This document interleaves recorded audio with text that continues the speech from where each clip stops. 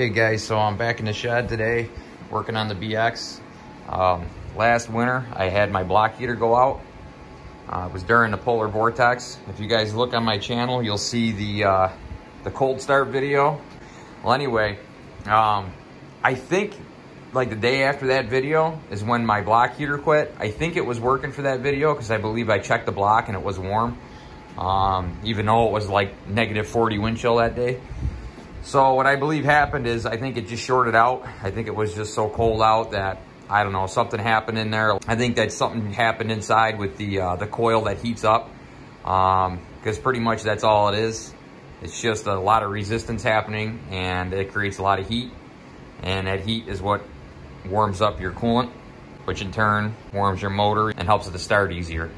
Um, so what I'm gonna do is I'm gonna take the bonnet off I gotta take these two knobs off here and we're gonna dive into this and see what's going on with it.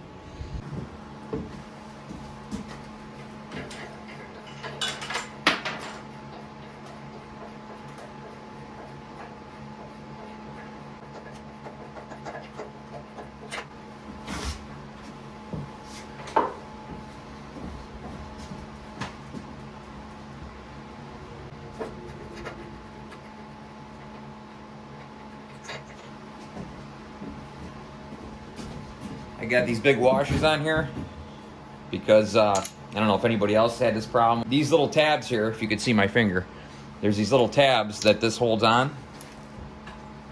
And this is what happens. I saved a piece of plastic. It breaks. So the plastic gets brittle after time and it ends up just getting real brittle and it just snaps off. Um, the front of this here has little clips that push in to the side. I always call it like the firewall so it's got little clips that push in and those never break, but it's always these clips up front here. Um, so like I said, they're just like little ears that you throw the bolt through and that's what holds it down. Um, if it breaks, just get a big washer, like a big fender washer, stick it through the bolt, thread it back down, and just make sure you push that bonnet each side in nice and tight when you thread this in, and it'll hold it in place.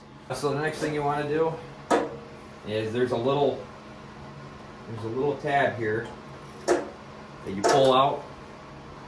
And what that does is it allows the hood to be held at a certain angle in which the bonnet will come forward. So then after you got them screws out and the bolts out and you got the hood um, on this angle and you pull forward on the bonnet. And for me, I got these LED lights down here, so what I gotta do is I gotta stretch this bonnet outward to get them around the LED lights. It's usually not too bad usually. There we go. Okay, and the bonnet comes off. Set it to the side. And then you can release your hood all the way up. Okay, now that we got the hood up and the bonnet off, we can see the block heater. Okay, here's your block heater. Okay, it's on the left side of the engine block.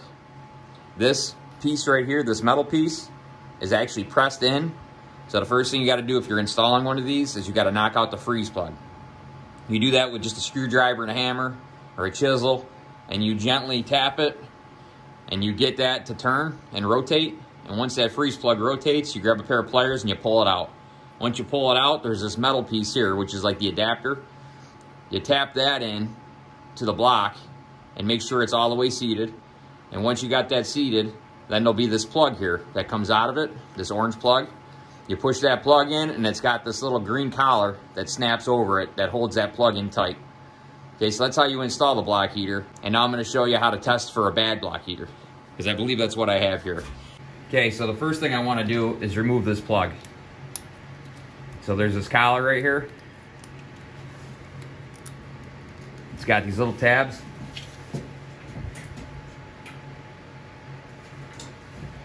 You get a screwdriver, a little flathead. Okay, you see these tabs?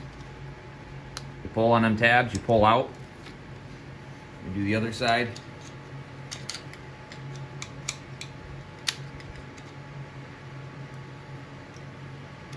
You just got to keep working it back and forth.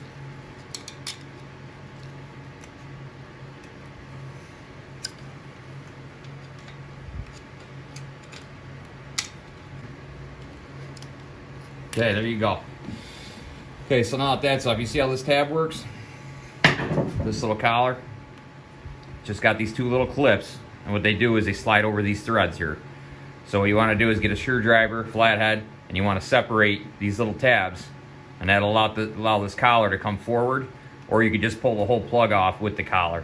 Okay, so now that that's out of the way, I'm gonna look inside here and inspect it, make sure that it's not green or corroded. As you can see, it's pretty clean in there. You can still see copper, so I don't think it's gonna be a connection issue. The plug looks like brand new still. Now this block heater, I got it installed when I installed my loader, when I had the dealer install my brand new loader.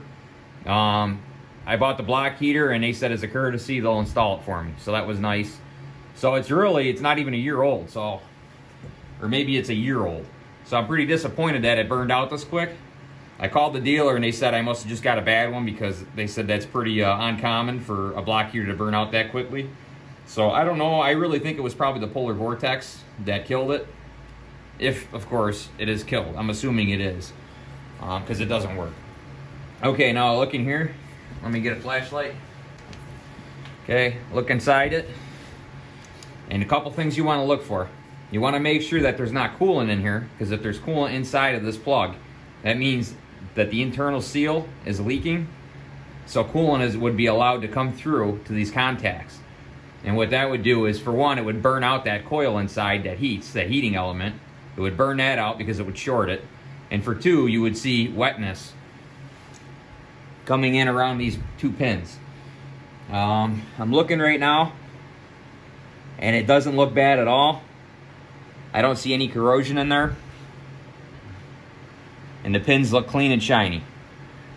So that all looks good to me. So now the next thing we're gonna do is I'm gonna grab a voltmeter and we're gonna test for the resistance. So let me do that now. Okay, I got my voltmeter, or DVOM. I'll turn it on. Okay, so now what you wanna do is you wanna go to resistance, okay, ohms and you want to go to this little beeper here. And what that's going to do, try to show you this on camera. Okay, can you see the screen? it's got one, shows a number one on there. Okay, when I touch these together, it beeps and it'll give me zero, zero, zero. So that's telling me that that's a good connection and that I got continuity. Okay, so if I don't hear a beep, or it shows infinite resistance here, that means I got a break. And as I explained earlier in this video, all the all, all a block heater is is basically just a big coil that creates a lot of resistance and that in turn creates a lot of heat. Okay, so now we're gonna test it. I'm gonna put the negative, doesn't matter which one you're on, just put your negative lead on one pin, your positive lead on another pin. Okay? Let me get this so you guys can see it. Okay? So again, test it, make sure your voltmeter's working. Okay, I got a beep, I got zero, zero, zero. Means I got good continuity. Okay, I'm gonna touch each pin here. As you can see, I got nothing. Which tells me that there's a break in the coil. Which tells me that this block heater is no good. Okay, I could reverse them, it doesn't matter. I'll go the other way with it. Nothing. Okay, so that tells me that my block heater is bad. It's shorted out internally. Uh, there is no fixing it. You just pull it out, you replace it with a new one. Um, so that's how you check it. Now we can go one step farther, just to be sure, we can go one step farther, and I can test the wiring coming out of it, just to make sure we didn't have a bad plug. Okay, say you did this test, okay, and you tested both these pins, and you had continuity that would mean it's a good it's a good block heater, right? So then the next thing, say you're still having a problem, the next thing to do would be to check the harness. So to test the harness, use the same test, a resistance continuity test. And what you would do, and I can do this just to double check and make sure, is you could check your harness to make sure it's not, it doesn't have a short in it. So I'm gonna check continuity. Now this is just a ground, okay? You got your hot and your neutral. So let me check. I'll put it in one prong. Here, let me get the voltmeter where you can see it again. Okay. So you see what I'm doing? Yeah, I'm putting the, the positive in one, in one of the pins. And as you can see, I got continuity there, okay? So now let me check the other pin. And now that's gonna be this one here. And as you can see, I got continuity there. Now I can check the ground. The ground is this little tab right here, coming off the side. And that, it grounds off of the side. When this plug goes into the block heater, that ground makes contact with the side of that, um, that plug basically, or that block heater. Um, and that's what grounds this out.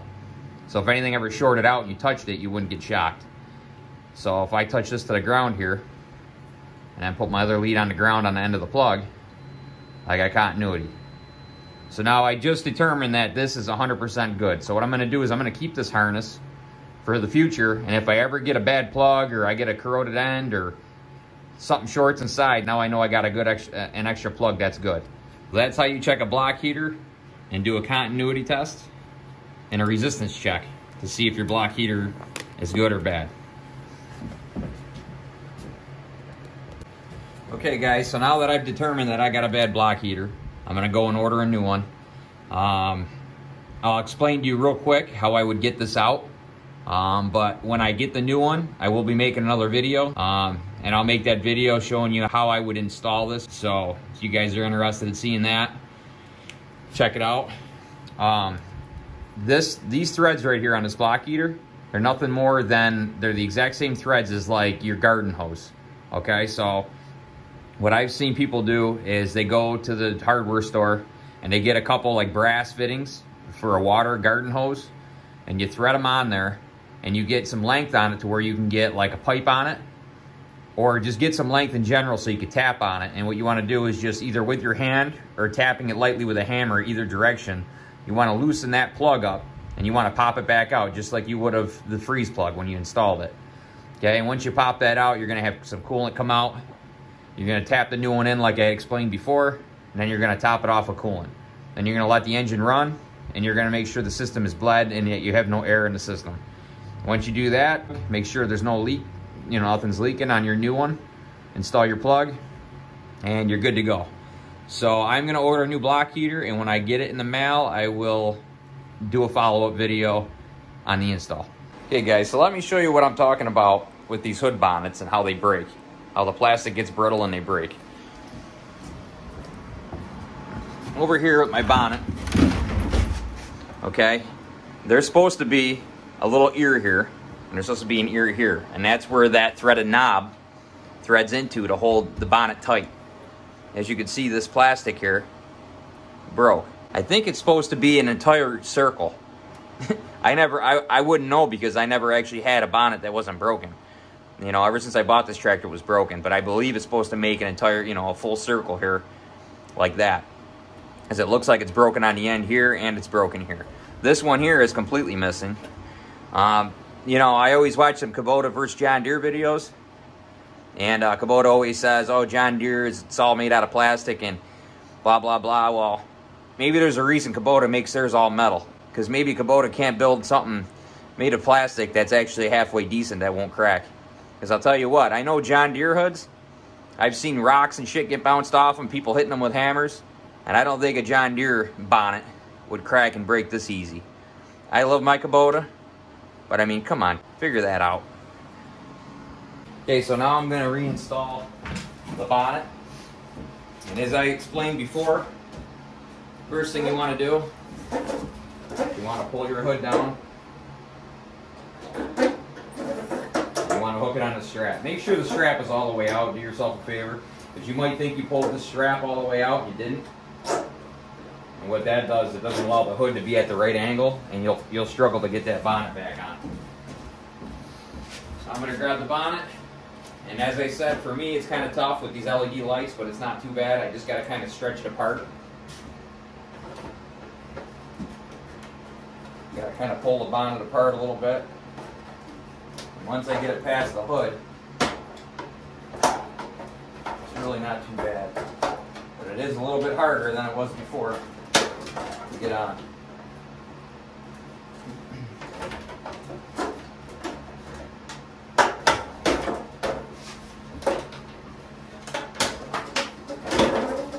Okay, so now there's these little tabs on the side of the bonnet that slide in. I don't know if you can see this but on the side of this radiator, the radiator support, I always call it the firewall because that's where all the wires go through. You can see these slots. There's a little notch on each side. There's a notch here and a notch here on the bonnet, on the back side of the bonnet. And then plastic slots need to slide into those, those grooves. And if you don't get them slid in, your bonnet's going to rattle or it won't, uh, it won't fit right and you're going to wonder what the heck's going on with it.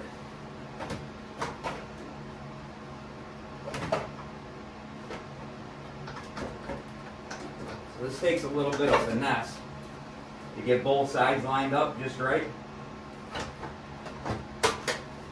Okay, I usually try to do one side at a time.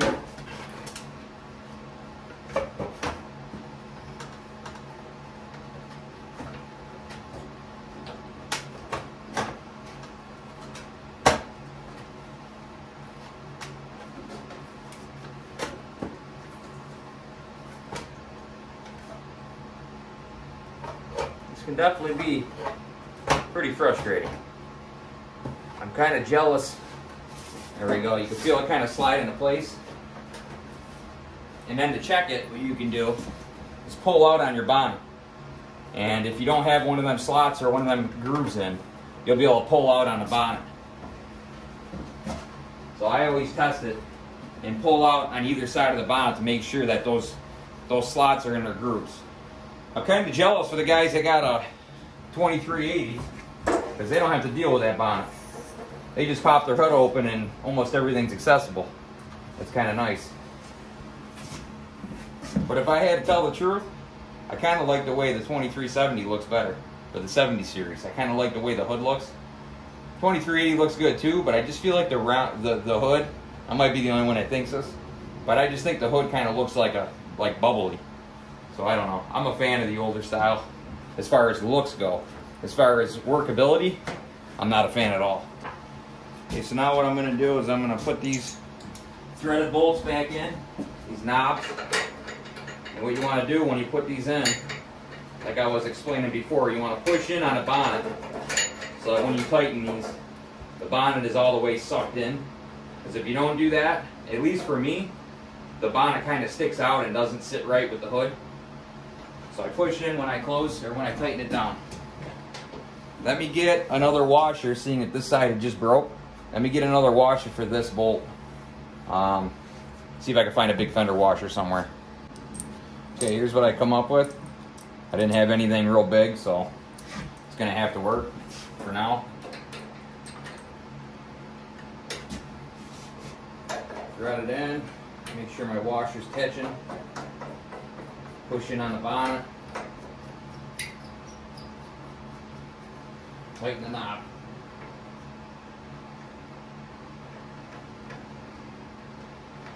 Okay, nice and tight. Make sure my strap is put away, my hood strap. And that's it. So, I'm gonna save this harness. I'm gonna order myself a new block heater. And when I get it in the mail, I'll be sure to make another video of the removal of my current block heater and the install of the new block heater. Thanks for watching. Don't forget to like and subscribe.